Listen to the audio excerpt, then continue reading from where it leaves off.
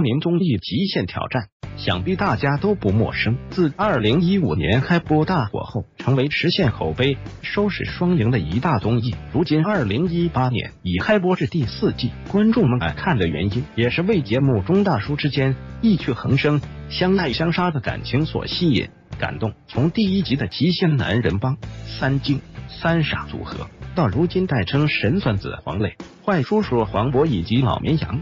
张艺兴和各种红星、红猪、双黄组合也日渐为大众熟知接受。为何一个节目能够持续四年热度不减，同时主 MC 不变？从节目制作上而言，最大的原因，于尔军总结有二：第一，剧情的设计性。极限挑战一直有个标签，剧情化综艺。从导演严敏是学戏剧出身，在他手里，极限挑战更像是一个结构性喜剧，通过结构的安排、巧合、回闪。通过因果、对比等方式设计规则，通过 MC 彼此的人物情感冲突构成喜剧性。极限挑战曾推出后期花絮，由导演讲述每一期。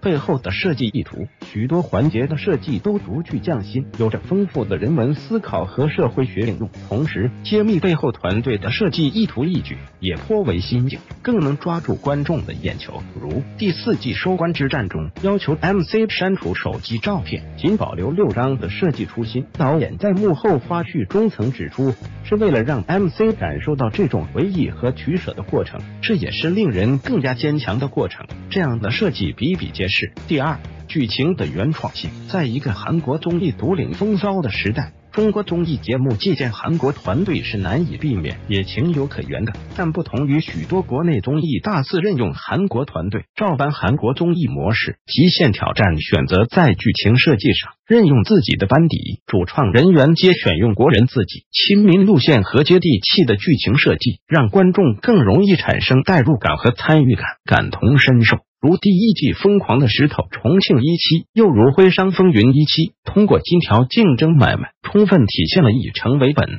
的历史悠久的徽商文化。又如第四季高考特辑，回到一九七八年高考恢复初期，体验知识青年们在恶劣环境下求职奋斗的人生历程。这些内容若以韩国团队为主创，是无法细致构思策划的。但为何《极限挑战》从第三季到第四季评分下跌迅速？从九分档跌至七分档，其中原因，于尔君将在下期与大家深入探讨。因此，诸位看官，你们认为《极限挑战》是一部好作品吗？